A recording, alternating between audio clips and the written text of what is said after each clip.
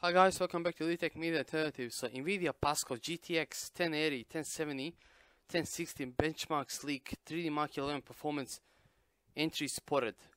Um, uh, multiply potential uh, Nvidia Pascal 3D Mark 11 GPU series have been spotted. The entry entries are varied and and show of GPUs with performance figures that range from very high, uh, the GTX uh, 980 Ti territory to entries that show performance closer to GTX 970. Before we get into the performance figures, uh, I would like to give shout out to VideoCardz who have supported two, two of the four entries we are sharing with you today. Also, as a reminder, please keep your uh, salt shakers handy at all times during this. The 3D Mark entries you're about to see do not match any current or previous launch uh, graphic cards from NVIDIA. We shall see that, my friends. Um, the first entry we, we have um, is of an unidentified NVIDIA GeForce uh, graphic card with 7680 megabytes of graf graphical memory, 512 megabytes of, short of uh, 8 gigabytes.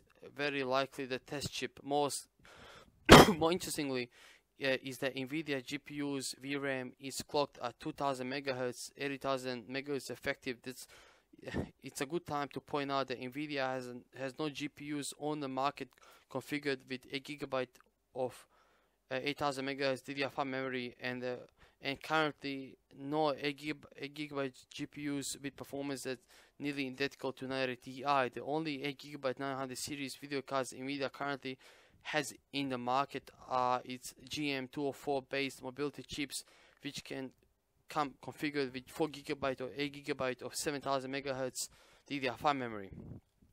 So let's have a look through this. I hope I can zoom it in. Oh, let's have a look. I can't even. Um, I can't even fucking zoom thing in. What's this? Um, I don't know how they made this.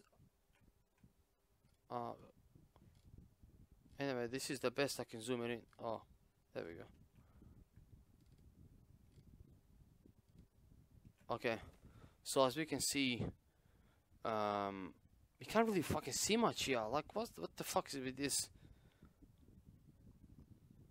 As we can see, like it's it's um.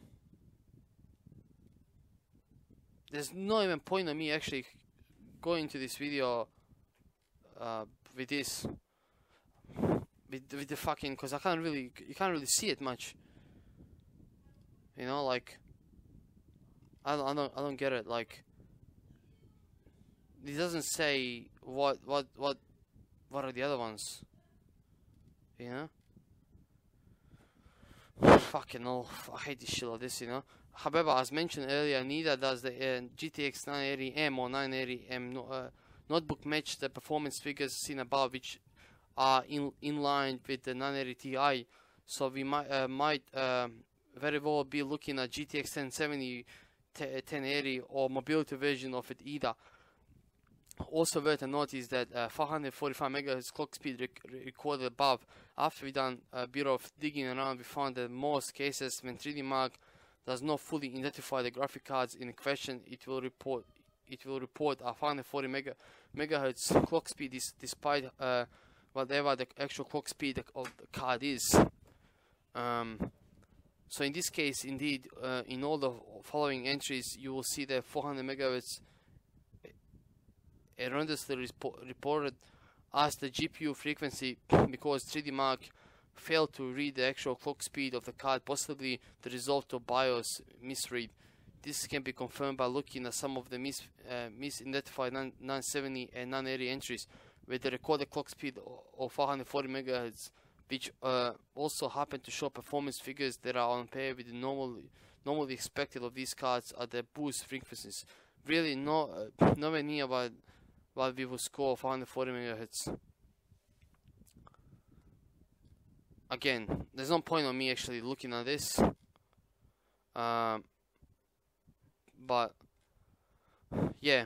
Um, anyway, interestingly, the card. Um, actually, I haven't read this one the, the, last interesting entries identifies 3 gigabyte 2, 2500 megahertz and 10000 megahertz effective graphic card we could we could potentially be looking at very first GDR5X Pascal graphic card here, 3D Mark will on occasion report erroneous uh, memory frequency figures doubling the actual speed. However, there is no 3 gigabyte uh, 1250 megahertz uh, NVIDIA graphic card that the 780 reference features uh, 1500 megahertz, 6000 megahertz effective DDR5 memory, and 970 Ti features 7000 megahertz effective DDR, DDR5 memory.